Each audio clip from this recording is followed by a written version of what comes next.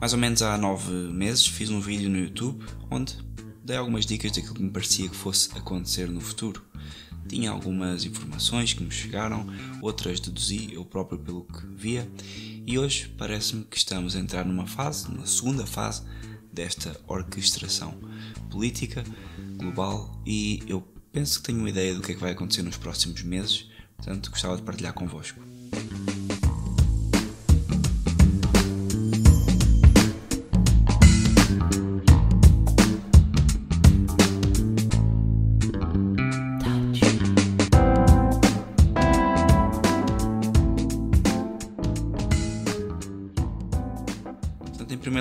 Queria apenas dizer àquelas pessoas que acharam que eu estava a ser conspiracionista ou que estava a inventar coisas que, olhem, eu também gostava.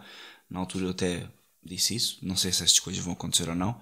Parece-me que sim, mas esperemos que não. A verdade é que está tudo a acontecer e pior ainda. Temos uma agenda globalista que não vai parar e vai apenas espezinhar a população de cada país. E Portugal é um desses países. Quem viu hoje o presidente, ontem, o presidente Macron, a falar sobre uh, uh, o apartheid que vai ser criado em relação às pessoas que não vão tomar as injeções, percebe já o que vai acontecer no futuro. No vídeo que eu fiz há uns meses, eu expliquei isso: as pessoas vão ter um passaporte para sair de casa, portanto, as restrições dos conselhos, isso foi tudo para nos preparar um, mentalmente. A máscara, a mesma coisa, para nos preparar mentalmente para sermos pessoas marcadas e depois já temos em nós um, a marca que nos vai seguir para sempre através do crédito social, os telemóveis que com o, os certificados digitais que agora começam a ser emitidos e que em nome da pandemia as pessoas vão tirando. Então, um, tudo isto conjugado, uh, temos então o crédito social, aquilo que eu mencionei também já num vlog anterior. Eu pensava que isto ia demorar algum tempo. Eu agora acho que isto vai ser muito rápido. Eu penso que eles perceberam que as pessoas estão a acordar para a questão e vão acelerar tudo, especialmente porquê? Porque eles estão com esta crise económica, sabem que metade da população mais ou menos ficou dependente do Estado ou da família e agora produziram toda uma geração de pessoas que trabalham online e que trabalham a partir de casa e portanto será muito fácil tornar estas outras pessoas, estes outros 40% da, da população que não alinharam em nenhuma das medidas porque trabalham de casa, estão confortáveis, a procurarem a subsistência pelo Estado. Porquê? Porque basta o tal apagão, também já falei sobre isso num vlog, uh, basta o tal apagão para que as pessoas que trabalham remotamente percam os seus trabalhos. Eu vou-vos dar muito rapidamente aquilo que me parece vai ser o futuro nos próximos meses e quanto tempo é que eu acho que temos até o descalabro. Pelo que me parece, eu acho que nós vamos ter um inverno horrível, com restrições, implementação e apartheid, ou seja, eu vou deixar de poder ir aos supermercados, eu vou deixar de poder ir às farmácias e tudo que são locais públicos, e, e já vou explicar porque é que eu vou deixar de o fazer.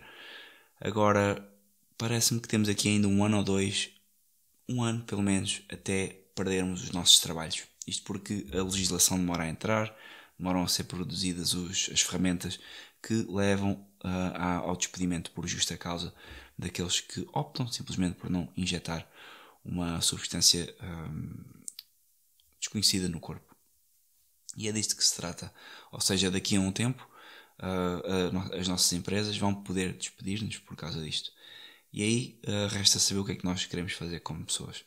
Eu já falei sobre este tema das injeções, uh, o vídeo foi removido do YouTube, portanto podem procurá-lo no Odyssey, o meu canal, está lá. E eu fiz um vídeo especificamente para os católicos, porque havia católicos e foi obtida moralmente de forma ilícita, uh, que pensavam que moralmente é, é um pecado grave, não é? Isso está desmistificado. Eu julgo que é pecado grave para um católico que sabe de toda esta situação mas uh, a minha análise uh, eh, um, acaba por ser que não é, se formos coagidos em determinadas circunstâncias, não, pode não ser uh, um pecado tomar esta injeção. Seja como for, o que é que eu quero dizer com isto? Quero dizer que, para além da questão moral para os católicos, há a questão humana.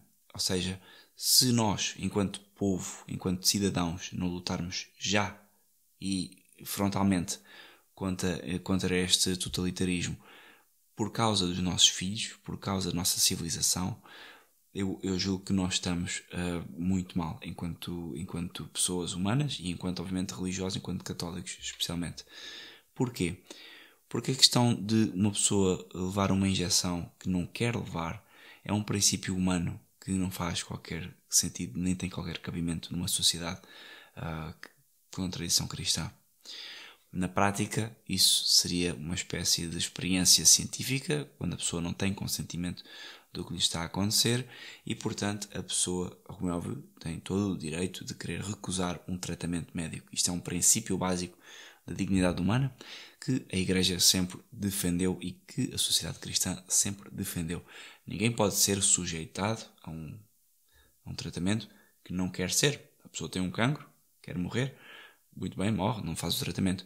Há pessoas que dizem que, neste caso uh, do, do, da nova doença, não é o caso, mas claro que é o caso. As pessoas, se não querem um, ser tratadas, ok, muito bem, podem, podemos falar em contágio, então produzam-se os serviços, a sociedade produza os serviços, tal como eu produzo com os meus impostos, para pagar tratamentos da, da SIDA e outros, e outros tipos de tratamentos e toxicodependências que existem, que se produzam na sociedade um, os mecanismos sociais para que as pessoas então que não queiram levar as injeções possam conviver, talvez, com um, segregadas. Até posso presumir, presumir e eu até ficaria mais contente porque de facto não me quero misturar com toda esta carneirada que opta por injetar substâncias desconhecidas no seu corpo e no corpo dos seus próprios filhos. Portanto, eu ficaria contente se houvesse alguma segregação dessas pessoas, mas quero na mesma que essas pessoas tenham o direito de ser injetadas com o que quiserem. Portanto, se querem ser,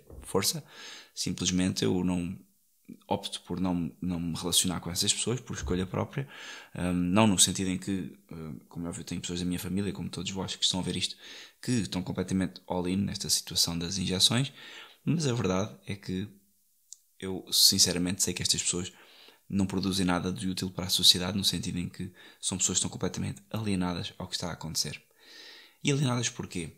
Porque esta questão da injeção não é uma questão de injeção agora. O crédito social e o certificado digital, que é um, uma ferramenta para trazer o crédito social à baila de forma mais rápida, é simplesmente tornar as pessoas dependentes do Estado. Porque a seguir à injeção desta variante, vai, vai a variante de Lambda, vai a variante Omega, vai a variante Delta, vai a variante Z, o que vocês quiserem. O, isto, estamos só a falar de saúde, depois vêm as questões morais. Vocês são budistas e o Estado acha que o budismo já não deve ser uma religião ilícita, é bloqueado e vocês, a partir desse momento, deixam de poder entrar no supermercado porque foram contabilizados num ritual budista, a mesma coisa para os católicos. Ou vamos à questão do, do álcool. Se o Estado acha que uma determinada marca não deve ser vendida em Portugal e a bloqueia, quem consome dessa marca deixa de estar apto, por exemplo, a receber o IRS e a frequentar escolas, hospitais. Portanto, a questão do crédito social e depois abarca, uh, deixa de ser como é esta fantochada da saúde, abarca todos os outros espectros da vida. O espectro moral, o espectro legal, que também é muito importante, e, e, e portanto, e até o laboral, como vamos ver. E, e, isto é assustador porquê? porque há muitas pessoas que estão completamente a dormir para esta situação. E aliás, é a maioria. A maioria das pessoas são ignorantes, é o, é o que a democracia produz. A democracia produz idiotas funcionais que não são capazes de nada, mas que, como de 4 em 4 anos põem um papel dentro de uma caixa, dormem durante 4 anos, mais 4 anos porque o seu papel enquanto cidadãos foi feito. Portanto, isto é aquilo que a democracia produz. Eu neste podcast tenho vindo a tentar desmistificar que a democracia de facto é apenas um cancro ideológico. Não sou eu a dizê-lo, eh, eu digo, mas não sou eu a defendê-lo por mim próprio. Há inúmeros pensadores ao longo da história que sempre o fizeram e não é por acaso que na história da humanidade a democracia sempre que aparece é sucedida de tirania e caos social. Porque sempre foi, a democracia sempre foi forma de destruir o inimigo. Se você tem um, um país que quer conquistar, a primeira coisa que tem que fazer é gerar influência em torno dos gestores e governantes deste país, de modo a que seja implantada a democracia. Assim que a democracia entra, acabou-se o país. E portanto, o nosso problema hoje é este. Enquanto pessoas nacionais, portuguesas, o que é que vamos fazer? Eu já tenho também abordado a questão da dicotomia hum, democrática no sentido partidária. Não haverá solução nenhuma uh, ideológica que possa brotar de um Parlamento neste momento. Porquê? Porque todos os idiotas que estão no Parlamento, incluindo aqueles que vocês pensam que são a nova solução para Portugal, uh, estão completamente alinhados com o sistema, como se pode ver, porque estas medidas avançam e eles o que fazem apenas é agitam um pouco com os ombros, na prática não fazem nada. Caberá a nós, portugueses, resolver esta questão. E não podemos nisto. Eu sou católico, como vocês sabem, é um podcast católico. Eu gosto de me dar mais com os católicos, tal como quem é budista se dar mais com os budistas, mas eu tenho plena consciência que daqui vamos ter que colocar-nos à disposição do nosso país. Como é óbvio, Portugal é um país católico e eu não vejo outra solução para este país que não seja uma solução política que contemple a doutrina católica e moral católica. Porquê? Porque não se pode separar Estado nem a religião. Isto nunca aconteceu na, na história da humanidade e acontece agora com o fruto do liberalismo e isso produziu os impérios, ou pelo menos os regimes mais totalitários e sangrentos do mundo, nomeadamente o, o regime uh, judaico da União uh, Soviética e o regime um, nacional-socialista que combatia esse mesmo regime, mas cometia os mesmos erros. E depois também todos os aliados que hoje em dia fazem guerra e exterminam populações e dizimam com os genocídios todo o norte da África Médio Oriente em nome do sionismo. Portanto, nenhuma destas ideologias políticas, nada do panorama uh, político dos últimos anos nos vai valer. Nós temos que pensar como portugueses.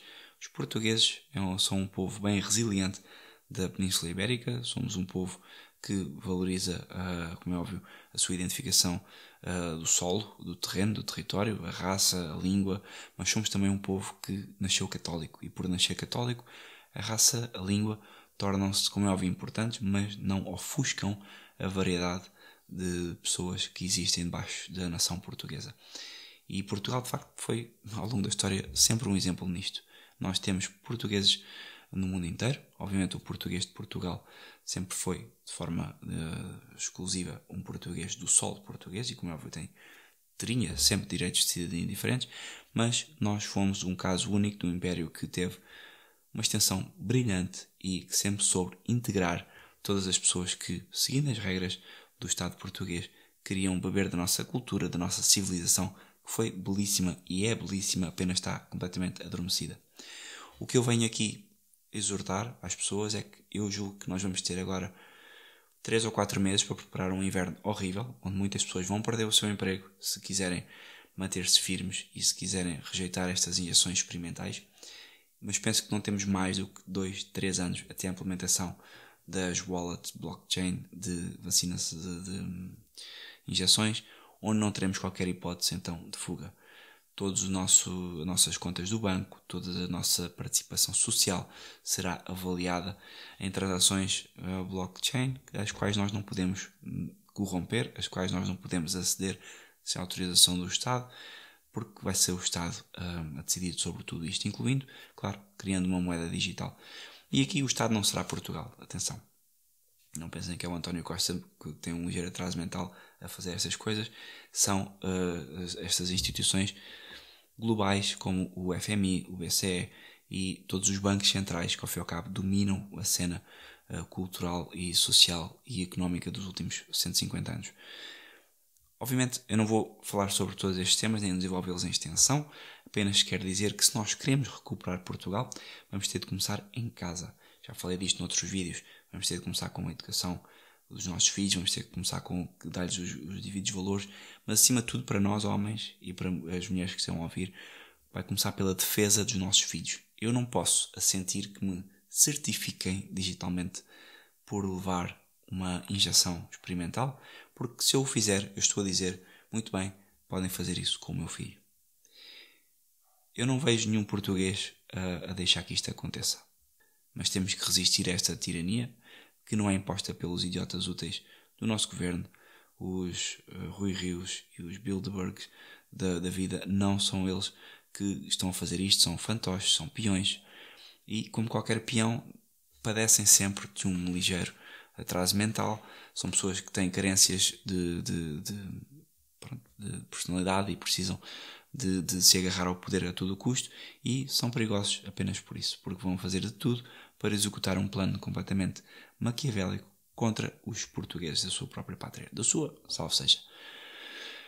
Aquilo que, que eu vos venho dizer é que temos que começar a pensar em como resistir isto. E a resistência disto, eu vou fazer um podcast muito em breve com um ouvinte aqui do, do, do, do podcast e falaremos sobre quais as possíveis hipóteses, mas as hipóteses não vão ser as tais comunidades, fugir da sociedade, autossuficiência, porque nada disso vai valer, porque você não consegue ser autossuficiente quando você não se consegue defender o seu próprio território, não consegue defender o solo onde está a plantar e, ao fim e ao cabo, acaba por ser, uh, acabará por ser expropriado, como são expropriadas todas as pessoas sempre que há um avanço totalitário.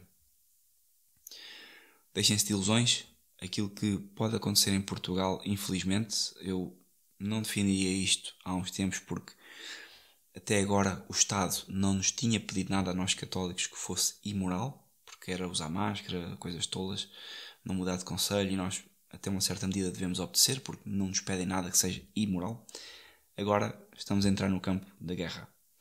E o campo da guerra é muito simples, meus amigos. Vocês não nos podem pedir a nós que atuemos primeiro contra os mandamentos de Deus, como é óbvio, e segundo, contra a nossa família, que, como é óbvio, faz parte daquilo que Deus nos pede para preservar. Se vocês nos pedem para abandonarmos os nossos filhos ao ensino público, às injeções que vos saem da cabeça, se vocês pedem às populações e aos portugueses para entregarem de mão, sim, de bandeja, por assim dizer, toda a nossa prole, então vocês estão a mexer com um bicho eu acho que vocês não vão querer mexer. E, e se calhar as coisas não vão ficar assim tão calmas. E se calhar as pessoas vão ter de começar não a ir para a rua com manifestações, mas talvez os nossos governantes não tenham assim tanto tempo como aqueles que foram injetados. Eu penso que é preciso começar a agilizar, se calhar, algo que não pode ser dito em vídeo, no YouTube, mas que sem dúvida faça com que António Costas e Rui Rios certamente não queiram, pelo menos, andar na rua. Um grande abraço.